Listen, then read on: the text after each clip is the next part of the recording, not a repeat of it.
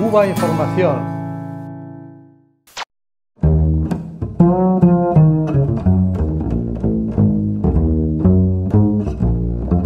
El derecho a la salud pública es letra sagrada en la Constitución de Cuba, jamás un negocio.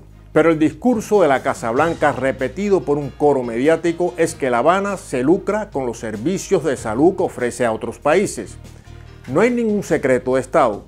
En un esquema legítimo de cooperación sur-sur, los países con recursos aportan fondos a Cuba, con los que sostiene su sistema de salud pública gratuita y universal, incluyendo salarios, infraestructura y compra de insumos, además de su cooperación en países más pobres. El personal médico cubano lo sabe y lo aprueba mediante un contrato individual. Pero Washington insiste, todo es un negocio del régimen.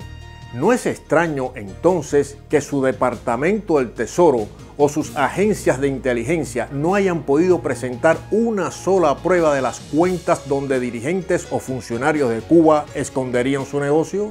Todo es una montaña de mentiras con mucho dinero que compra, por ejemplo, a unos poquitos escooperantes, cuyo guion tiene siempre el mismo autor, el senador Marco Rubio. Sin embargo, la inmensa mayoría de médicos escooperantes que por diversas razones emigraron de Cuba no son así. No viven de dañar a su país y donde trabajan siguen representando el humanismo médico en el que se formaron. Esta campaña para hundir la cooperación cubana es de resultados mediocres.